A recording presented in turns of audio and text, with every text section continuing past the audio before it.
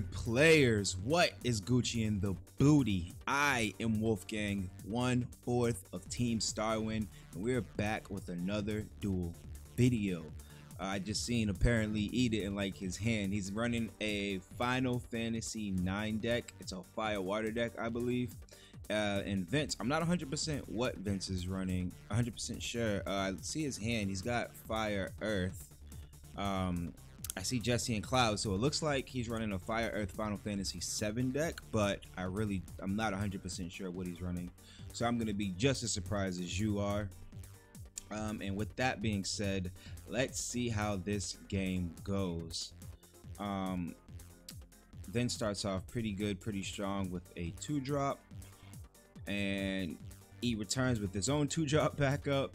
Um, and it's an Eiko too, which I've mentioned before. I was I severely slept on, and now I'm in the midst of getting three because I think that card is super dope, super phenomenal. The way you can use it in the middle of a combo is just super dope.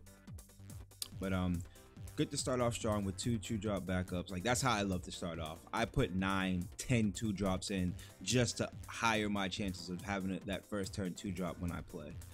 Um, and then he curves out beautifully with the uh, three drop searcher. So if you go first, having your three drop searcher is on your turn two sensational. Is like the good is my go to play. What I love to do. Um, but if you go second, it's not good because after you do your search, you end up with six cards in your hand. And it sucks because you're tapped out with six in hand.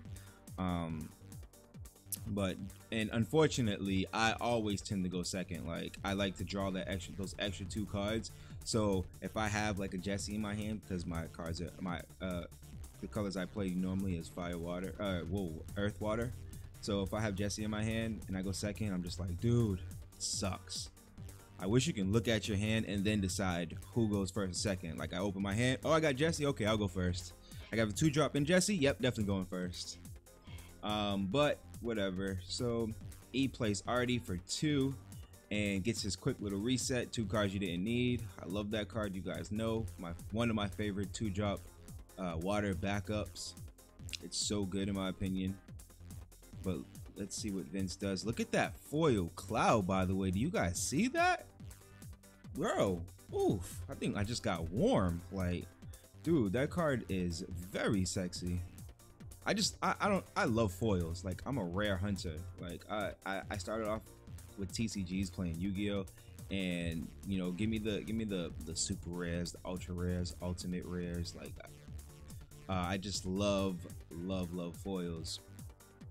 And so every time I, I play a TCG, I gotta have a deck full of foils. I love to have a deck full of foils.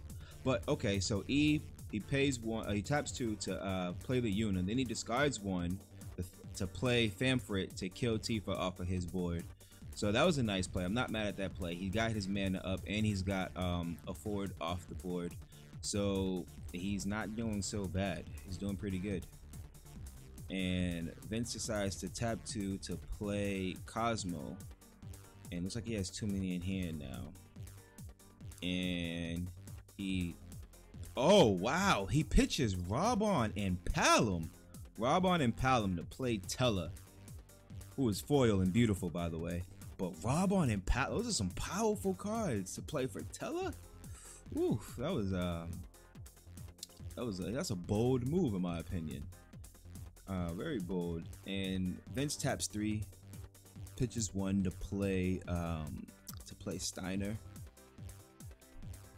and searches out Garnet, which is interesting because you know me, I the tempo I would have done the tempo play there, especially my opponent has no forwards on the field. I would have searched out the Zidane, uh, pitched one, plays a Zidane, draw one, but you know. Maybe he has he's got ideas, plays in mind. We can't see what's in his hand, so it's actually possible that he does have a Zidane, um, and he plays. You know what? I okay. I got to keep my mouth shut. I gotta start giving my people the benefit of the doubt um, um, because the, that's just the play. That's the go-to play right there. You play you play Steiner. You either search Zidane, or if you already have Zidane, you search something else. So got to give the people a benefit of doubt. You play the Zidane. You pitch one, play Zidane, draw one. Zidane is essentially a free summon in that in that point. But let's see what e, uh, Vince does in return. He taps four to play Tifa once again. He wants that Tifa on the board. Okay, and honestly, it's stronger than both. He's both of those forwards are only at seven, so he's not doing terrible. Tifa on the board being the strongest. And he taps two to play Levy. Okay. So he's going for the he's going for the aggressive play right now. He's he done fan freighted the first Tifa. He levied that Tifa back to Vince's hand unless Vince has a response, which I don't. Oh nope, he doesn't have one. And he's gonna go in for those two points of damage. Hits a Mystic. Oh, that's that glare is serious. And a Luca. Sorry about the glare, guys. Um. So let's see what Vince does. Vince does have four backups and a live Tellah, So Tellah in my, it's I have a love hate relationship with Tellah. Like it's it's good. Like I like that you can just use itself to crack off deal nine thousand to a creature. Like that's super dope. Um, but the fact that it costs four, it just it kills me. It really kills me because, like, for instance, I play Earth, and Earth doesn't have a lot of Destro or anything that does damage damage for that matter. We just got Atomos in the most recent set. So I play Raubahn, right? And Raubahn is dope. It has EX burst and it deals damage. Um oh man, he ta- he discards one to play a, Le- a Leviathan again, another Leviathan. So he's just going all out aggro, just aggressive right now. He's trying to get those points of damage in.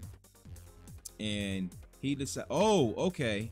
So this is where Tellah comes good. He he uses Tellah to he cracks off his Tellah to kill his own Zack to bring a cloud to the board. So although um, he doesn't have a blocker as he once did, he does have a forward on the board that he can use next turn to swing if um, E swings with both creatures, and he gives hits a hits a um, a golem, gives the extra two to Cloud, and he does swing with both creatures. So uh, Vince does have an attacker next turn.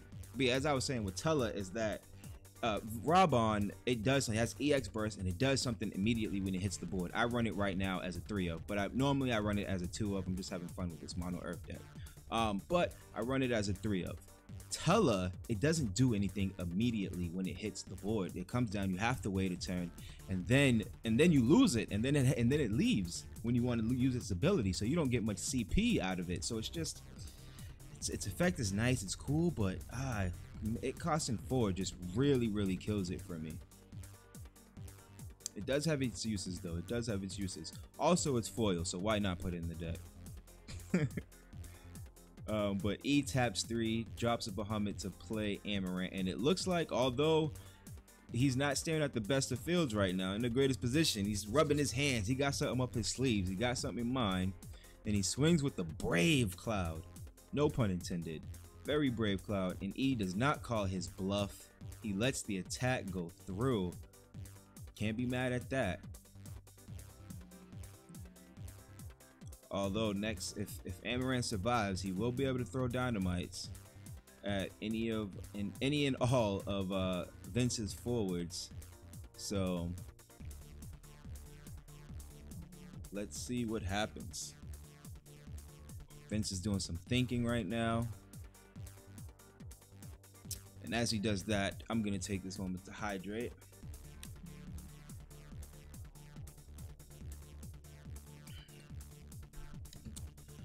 That H2O boys got to have it. Stay hydrated out there, people. Um, but let's see. Okay, so he has a golem I think that might have been his plan. Was if he was anybody was to block, he would have golem because it would have put him at 10k. So he dumps his Zangan and taps two to play to play Tifa. Okay. And getting that third. That's that. That's the. Oh no, it's not the third one. That Tifa was sent back to his hand. Yeah, it's still the second Tifa. Okay, never mind.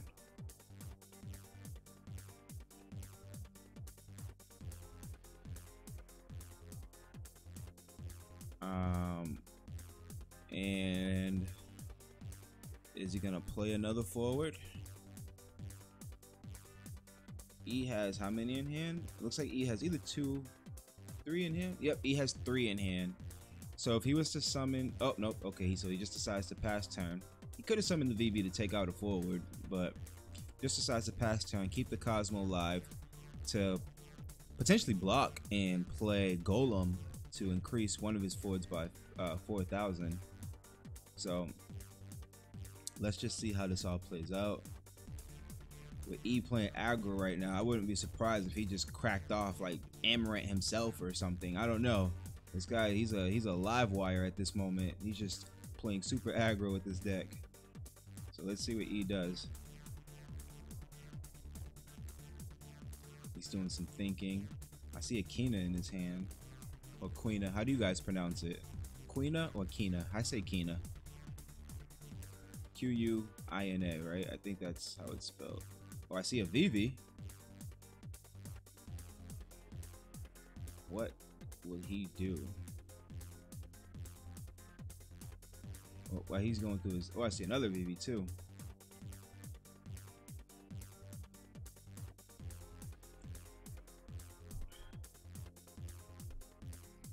He's stressing right now, huh? Okay, so he decides to just wait. He decides to attack with Steiner, and yeah, he calls his bluff. Steiner dies. Interesting move. He must have another Stein. Oh, okay, yeah, he does have another Stein in his hand. I can see it. I was about to say that was just a that was a wild swing there. So let's see what E does now.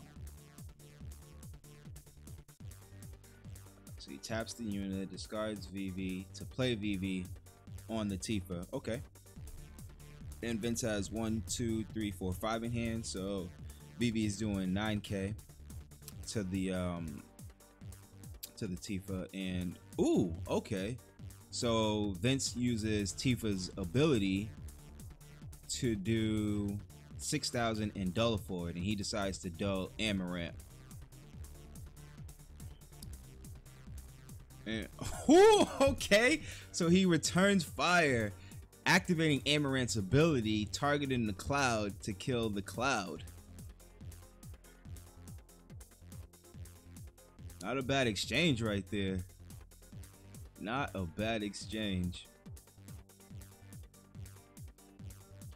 Now does does Vince have a response?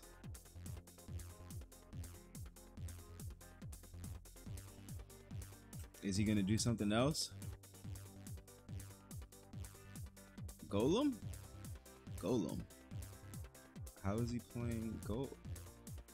Oh, wait. Oh. He's activating Cloud.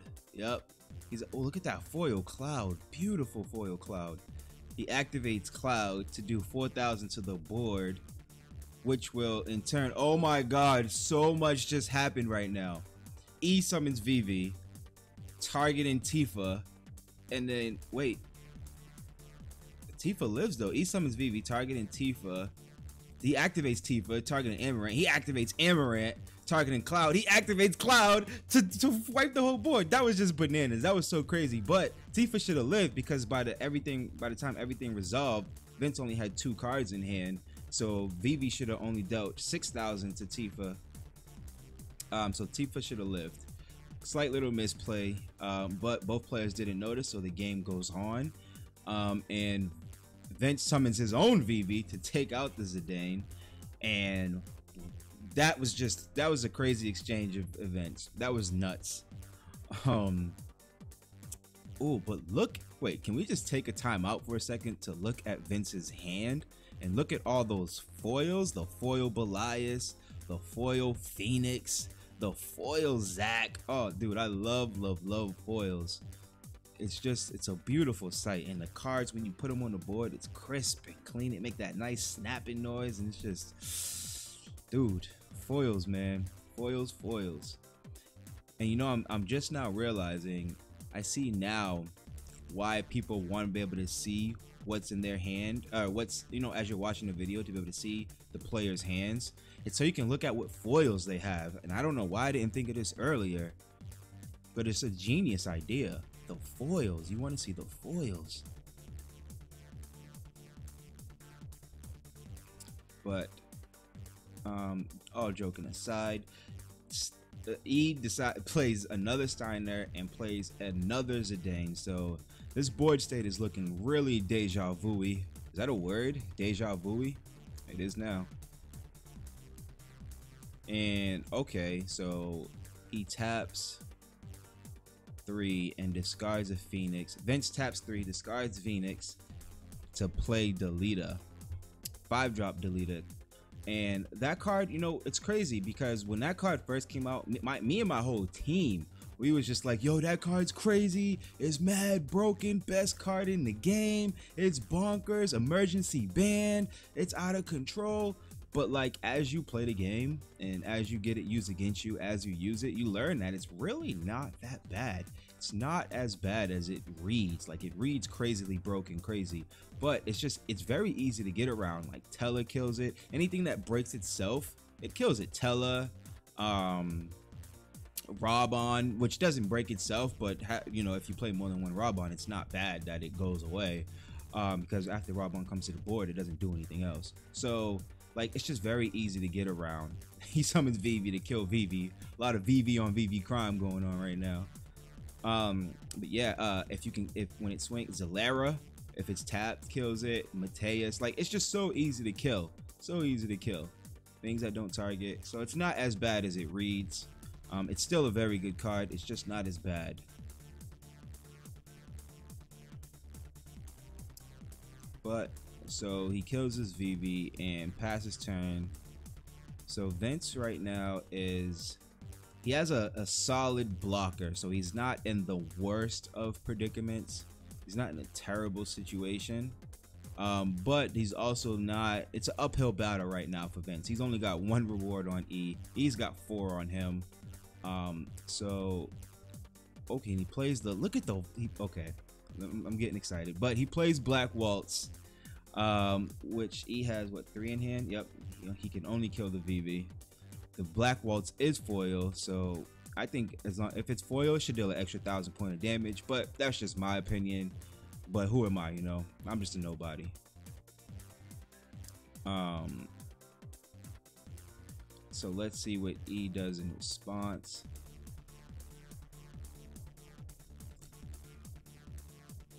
His turn comes, he taps two and plays plays his own Tellah. Tellah, Tellah, Tellah, man. That card, it just cost it costs four. Why do you have the cost four? If you was a three and did eight, you know, I would I would I would accept that. I would take that. If you, if you was a three drop and did eight thousand damage, because you can be boosted with things like Palom or even Summoner. So that four cost is just it's asking a lot. Okay, you're asking a bit much there, buddy. But all right, so it's Vince's turn. Let's see what he decides to do. Taps one. Taps two. Taps three. He decides to leave the Cosmo untapped, which is very smart. Um, and he ditches the Brew to play Zack. And somebody actually uh, pointed this out to me. I didn't really notice it before, but the foil five drop Zack, it looks like he's standing in front of Mako, like with the it has like this greenish type tint. Um, so it looks really awesome. The foil version looks like he's standing in front of Mako, but uh, he decides to crack off his Tellah and to, to target the Delita, killing Delita. But Vince responds, tapping. Oh, this is smart. He taps his Cosmos, making it a fire, and discards Krile so it's it's an overpay, but he needed a fire so he can play uh, Belias to increase Delita's attack by a thousand. But he responds by summoning Vivi, two drop Vivi, to um, use its ability to deal extra five to the to the Delita, which is what I was saying. If you kill yourself, to if you have to kill yourself to use your ability, targeting Delita isn't isn't that bad. It's not that bad. It's not bad at all forget not that bad. It's not bad because you was gonna die regardless. The, the, the card was gonna go away regardless. But um, yeah. So E plays Mog, draws one because Eiko is on the board, and passes turn. Let's see what Vince does. He's got some thinking to do. His big player card is gone, but he does have um, Zack on the board. So Zack replaces itself with the cloud, so he's not doing bad. Oh, okay, he has to swing with the Zack. Interesting. Very, very interesting. And he, oh, okay, so he taps. Okay, so he taps his backups and he plays the cloud, which makes Zack absolutely useless. Now I see why he swung with it. He wanted to see if he can get a Zack. No, Zack, when it comes to the board, it would have just killed the creature.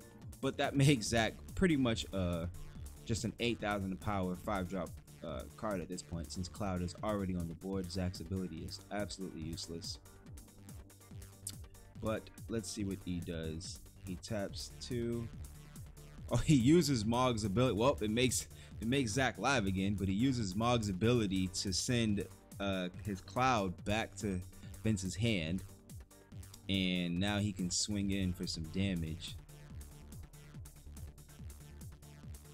And Vince, if Vince wants to play anything, Vince is tapped out completely. Zack's tapped, all his backups are tapped. So if he wants to play anything, he'd have to play something from hand. And he's doing some thinking right now. Does he want to do that? I see that he has two Phoenixes in hand, so he could potentially play Phoenix. And he discarded a Phoenix earlier, so that would suck if he had to get rid of both of his Phoenixes. There goes the that would be the the crow combo. The crow phoenix combo would be down and the down and out. Would not be able to do it anymore. So it looks like he's looking in the grave for targets of his phoenix. He could get um he could get mystic, but it cost him his backups. So let's see what he decides to do. Look at that foil phoenix. Oof. Boy, I need that in my life. Look at the way that thing blangs. And he pitches the Phoenix. Oh, he pitches Phoenix and Luca. Um, look at that foil krile, dude. Man. To get the foil krile. Okay. Okay, yep. And so Phoenix does 2,000 to the board. So when he blocks with Krile, it'll kill. They'll kill each other actually. Zidane and Krile will both die. And he looks like he's tapping. Nope, he's thinking about tapping. Oh, he's swinging first. Swings with Steiner, hitting a crow. Wow, that sucked. Hits a crow. Well, all his phoenixes are gone. The crow's in the grave. A crow is in the damage zone, so it, the crow phoenix combo was definitely not happening. But um, okay, so E taps two and plays summoner to get back who does he decide to target? To get back Brynhilda. Interesting. And he just shuffled his grave. Don't know why he did that. I think he thought it was his deck.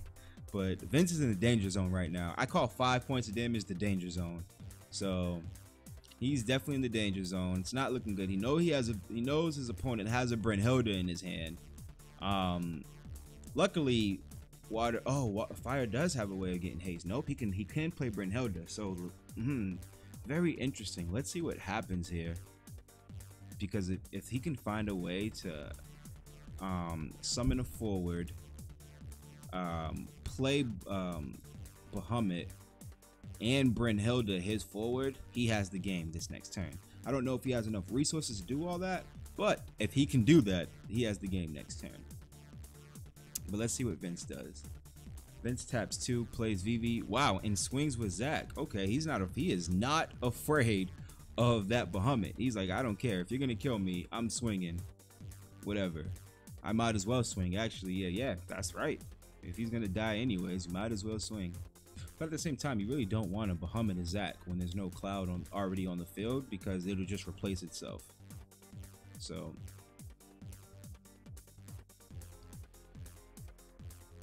and he's got that Vivi on the field, which I really like that Vivi. Started deck Vivi, I really, really like it.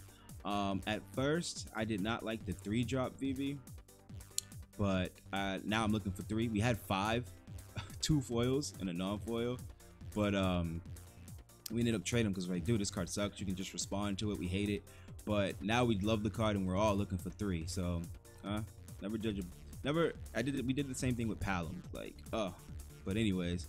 So he he taps three and discards the Bahamut that he just got to play Amarant.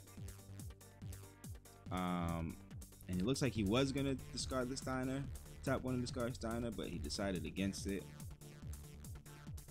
And instead, he's just gonna swing with Steiner. Let's see what Vince does in response. Anything? Okay, so Vince uses Vivi's ability to deal 8,000 damage. He taps two, uses Vivi's ability to do 8,000 damage to um, the Steiner, killing it, and just passes his turn. E passes his turn. Um, and now he has one forward. He has one forward on the board. Um, and Vince has one Zack on the board, two, four, four backup. So, um, Vince is in the danger zone, but he uh, he looks he's he can come back. He can come back. He's got a nice amount of cards in hand. He's he's not in, he's not in the greatest position, but you know he still serves a fighting chance. He's got that blocker that will replace itself, so you don't want to use Amarant on it. Um, so he's not in the worst position right now. Okay, so Vince now summons, um, he taps forward to summon Cloud, which um, makes Zack pretty much useless. Just a 5 drop 8,000 power once again. And I'm assuming he didn't have any other forwards in his hand to play, which sucks. So he's just stuck with that Zack on the board and Cloud. Zack and Cloud. The dynamic duo that you never want to see on the board. Um, and let's see what he decides to do. He taps three. And oh man.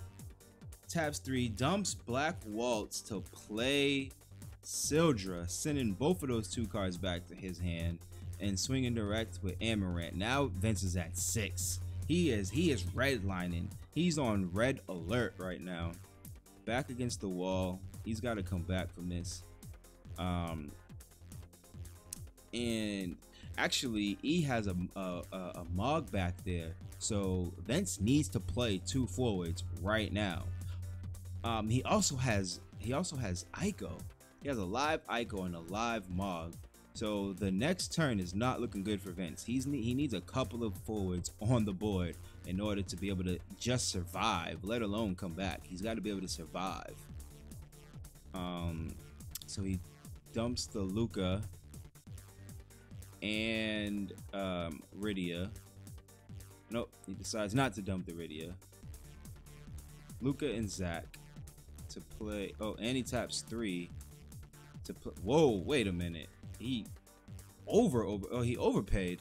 He dumped two to play. He must be nervous because he definitely overpaid to play the Zonde.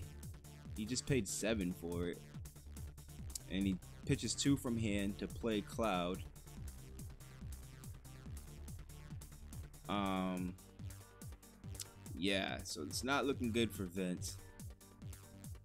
And it looks like I think E is using Eiko. Yep.